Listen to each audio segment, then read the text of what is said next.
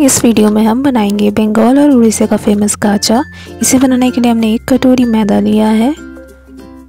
इसमें हम थोड़ा सा बेकिंग सोडा डालेंगे और मोयम के लिए घी। इसके जगह आप रिफाइंड ऑयल का भी यूज़ कर सकते हैं। अब इसे अच्छी तरीके से मिक्स कर लेंगे।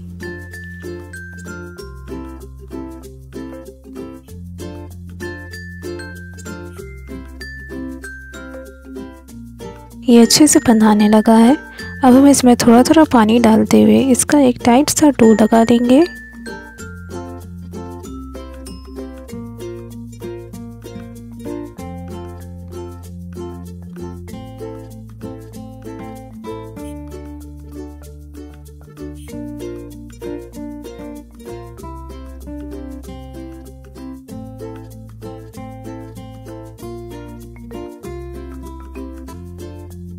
ये डो बनकर तैयार है। इसे अब हम ढक कर पाँच मिनट के लिए रेस्ट के लिए रख देंगे। तब तक हम चाशनी बना के तैयार कर देंगे जिसके लिए हम कढ़ाई में एक कटोरी चीनी डालेंगे और उसी कटोरी से आधा कटोरी पानी और इसे मेल्ट कर लेंगे।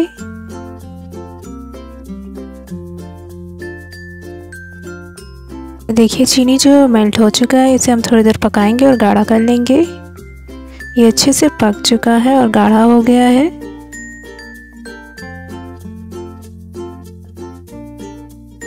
पाँच मिनट के रेस्ट के बाद हम डो को एक बार फिर से मसल के स्मूथ कर लेंगे।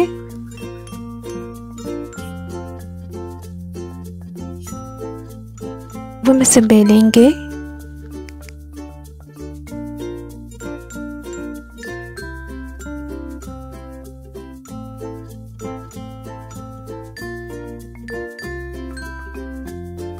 अब इस तरीके से हम इसे बेल लेंगे। इसे हम थोड़ा मोटा ही रखेंगे।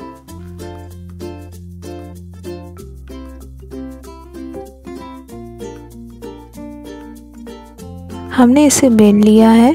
अब हम पहले चारों तरफ़ से इसके साइड्स को कट करके निकाल लेंगे।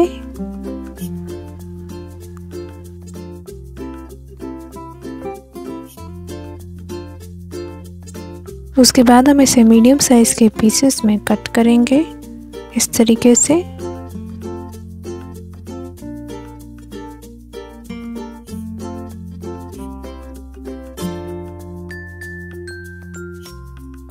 हमने इसे इस तरीके से कट कर लिया है। अब हम इसे फ्राई करेंगे। इसे हम पहले लो फ्लेम पे फ्राई करेंगे।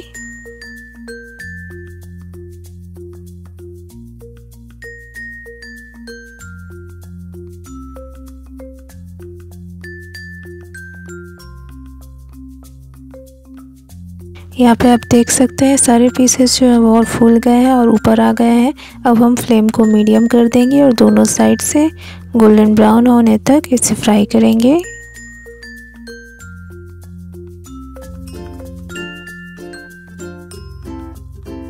दोनों साइड से फ्राई हो चुका है, इसे हम निकाल लेंगे।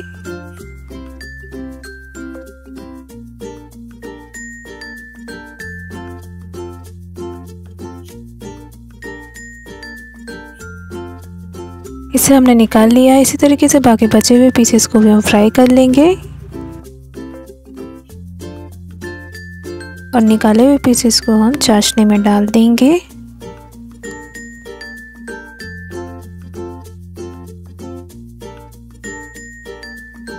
मिक्स करेंगे और इसे 20 मिनट के लिए चाशनी में छोड़ देंगे।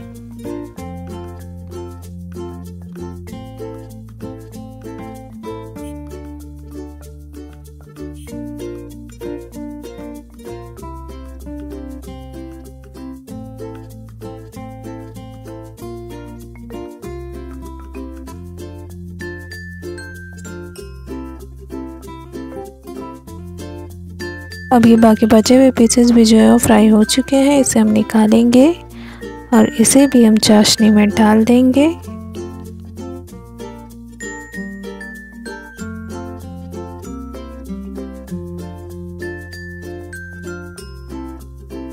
अच्छे से मिक्स करेंगे और इसे भी 15 से 20 मिनट के लिए चाशनी में रहने देंगे।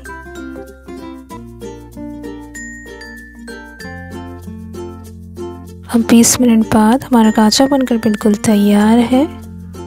ये उड़ीसा और बंगाल का फ़ेमस काचा की रेसिपी को आप एक बार बनाकर ज़रूर ट्राई करें। ये बहुत ही टेस्टी और खस्ता होते हैं। इस मीठे की रेसिपी को आप एक बार बनाकर ज़रूर ट्राई करें और अगर हमारी वीडियो आपको पसंद आई हो तो इसे लाइक करें। चैनल पर हैं तो सब्सक्राइब करें और बेल आइकन ज़रूर दबाएँ। Thank you